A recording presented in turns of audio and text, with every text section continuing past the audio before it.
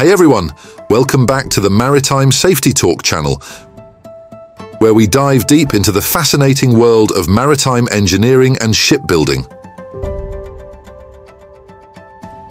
Today, we have something incredibly exciting lined up for you.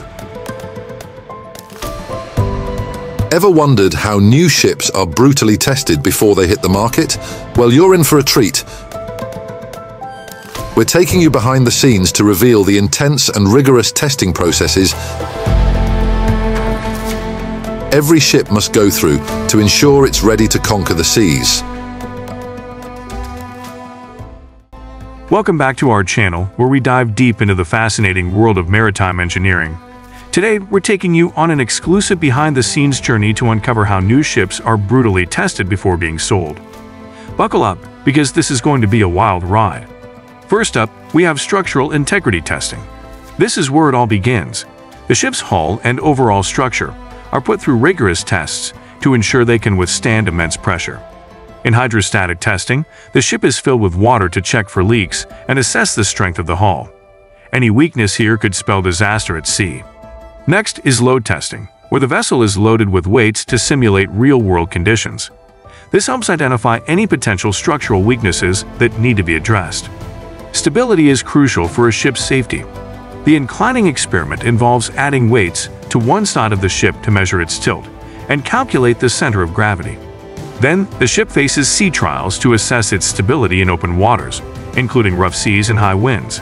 It's all about ensuring the ship can remain upright and balanced, no matter what. Speed and maneuverability are next on the list. During speed trials, the ship's maximum speed and acceleration are put to the test.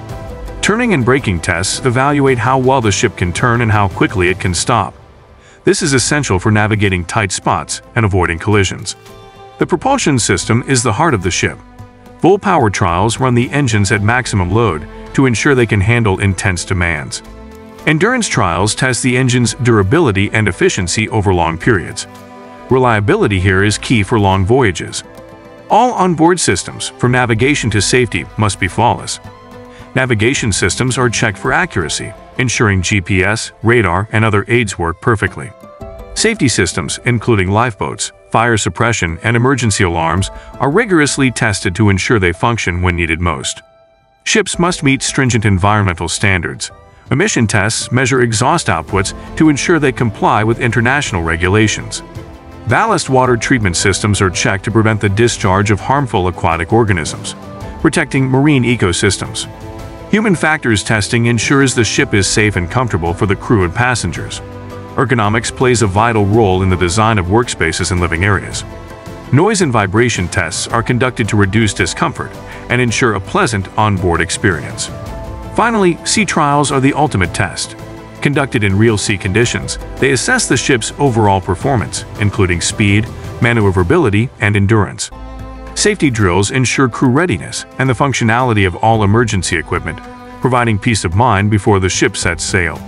Through extensive and brutal testing, new ships are ensured to be safe, reliable, and seaworthy. It's a rigorous process, but it guarantees that these engineering marvels are ready for anything the ocean throws. Thanks for joining us on this incredible journey. Don't forget to like, subscribe, and hit the bell icon for more amazing insights into maritime engineering. Until next time, smooth sailing